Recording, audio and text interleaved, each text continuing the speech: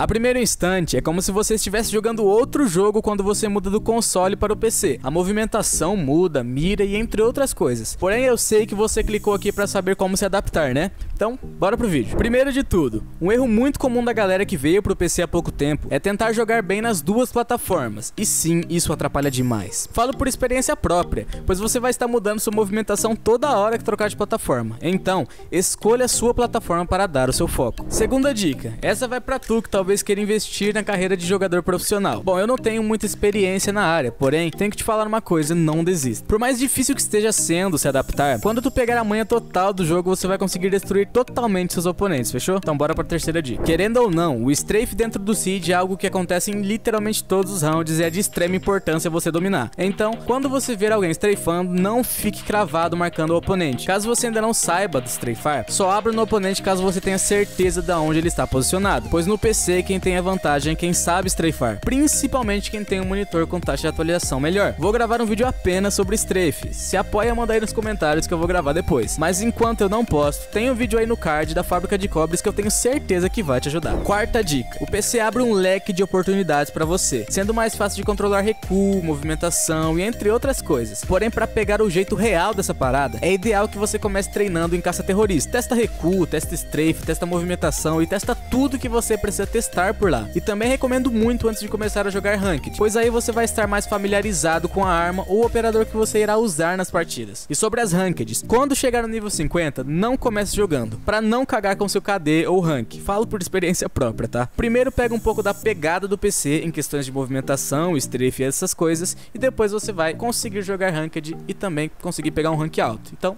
bora pra quinta e última dica. Melhore sua movimentação. Eliminou um oponente, muda de posição, e assim sucessivamente. Querendo ou não, o seed do PC é totalmente diferente dos consoles, por mais que seja o mesmo jogo. A movimentação é a primeira coisa que você deve mudar para conseguir se adaptar rapidamente. Ao contrário do console, que você pode ficar cravado em um lugar e seu oponente vai aparecer, no PC ganha quem tiver a melhor movimentação, além de ter a vantagem quem tem um monitor ou fones melhores, pois nos consoles PS4 e Xbox One, as taxas de atualização dos monitores são as mesmas de 60 Hz então não fique muito tempo cravado.